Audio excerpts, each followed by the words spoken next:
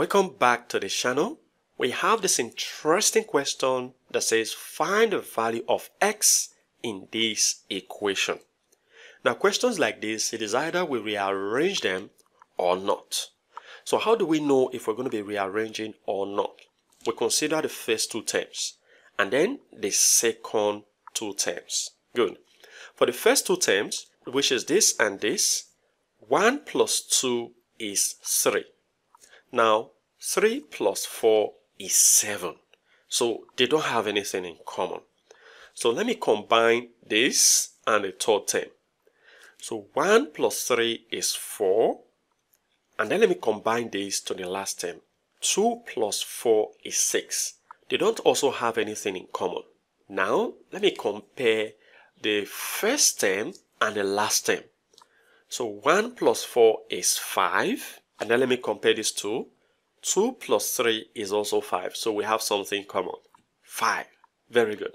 So that means I'm going to be rearranging this times this, which is x plus 1 times x plus 4. Very good. And then this times this, which is x plus 2 times x plus 3 and this is equal to 120. Now let's expand each terms. So I'll start with this first two. So x times x is x squared. Now to get the coefficient of x, 1 plus 4 that is 5, so this will be plus 5x. And then 1 times 4 is 4. Very good.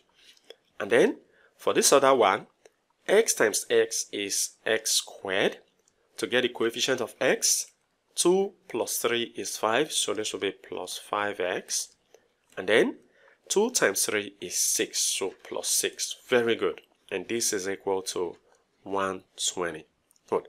Now notice that from these two brackets, we have x squared plus 5x common. So we can introduce substitution by saying that let x squared plus 5x, let me write let here, let x squared plus 5x, but there is something. Look at 4 and 6. 5 is in their middle, so I'm going to be adding that 5 to it. Very good. So let x squared plus 5x plus 5 be equal to u. Now, rewriting these expressions, you notice that this will be u. When I subtract 1 from u, I get this, so minus 1. Very good.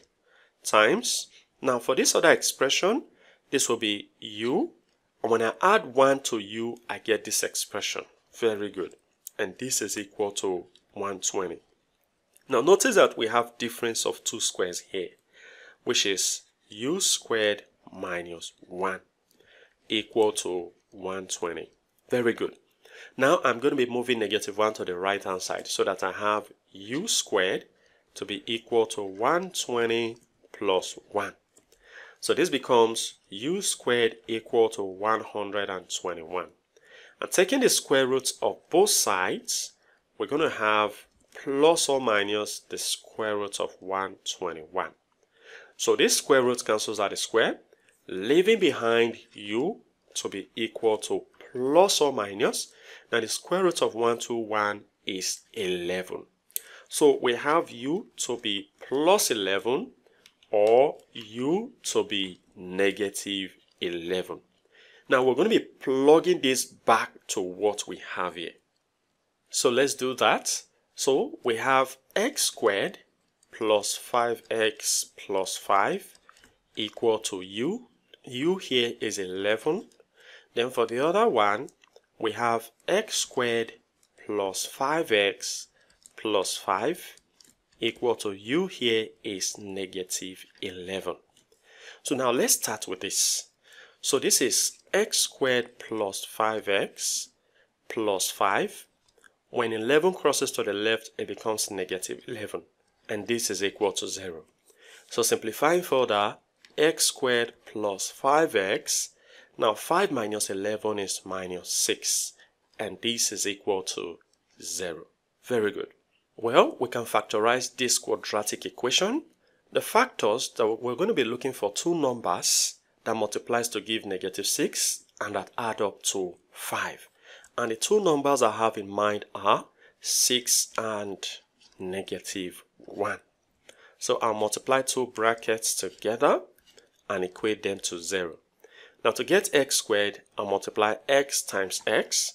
Now write down the factors. This is plus 6 and this is minus 1.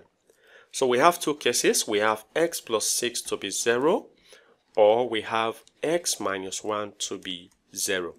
For the first case, the value of x will be as 6 crosses to the right, that is negative 6. For the second case, the value of x will be as negative 1 crosses to the right, it becomes 1. So we've got two values of x from here. Now let's come back to what we have here. We're going to be using or moving negative 1 to the left hand side so that we have x squared plus 5x plus 5 and as negative 11 crosses it becomes plus 11 and this is equal to 0. So this simplifies into x squared plus 5x.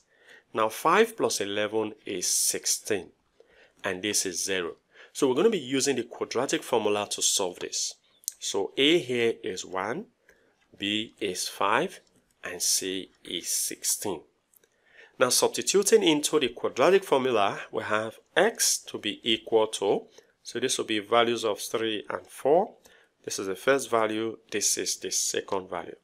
So this is minus b, so that will be negative 5 plus or minus the square root of b squared, so that is 5 squared, minus 4 times a times c, that is 16, all over 2 times a, that is 2 times 1. So simplifying further, we're going to have the value of x to be equal to negative 5 plus or minus the square root of 5 squared is 25 minus 4 times 1 times 16 is 64 all over 2 times 1 that is 2. So this becomes x equal to minus 5 plus or minus the square root of 25 minus 64 is negative 39 all over 2.